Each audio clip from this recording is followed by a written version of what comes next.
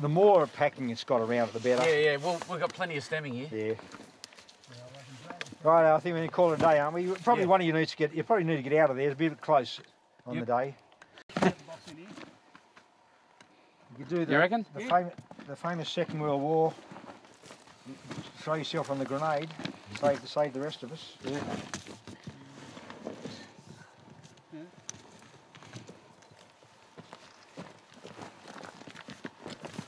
It doesn't really care. It doesn't have to be flat. It doesn't have to be upright. Yep. Yeah.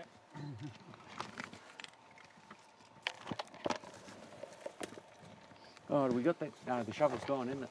No, no, not far up. Oh, beautiful. Oh, yeah, we might need them. Yeah, yeah the shovel will make it easier to Yeah. pack it. Put the stuff back in. Yeah. That'll do. That'll do. Yeah. You hang on to it, Dave, and we'll stem around you. Don't put it too far in. I want to make sure we blow the front off if we can. That's good there. Yeah. Yep. I'll get in front of you, mate.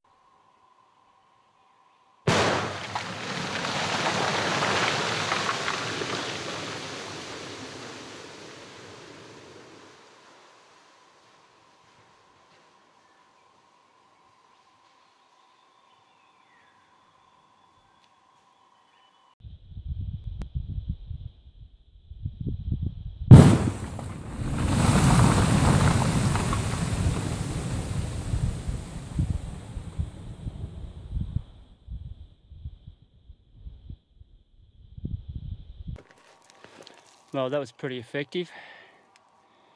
Spread a lot of loose material. Caved it in uh, a few metres back.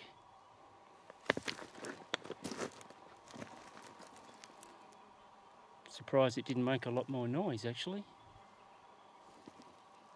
But uh, certainly moved a lot of ground. I don't think I want to be digging that out anytime soon.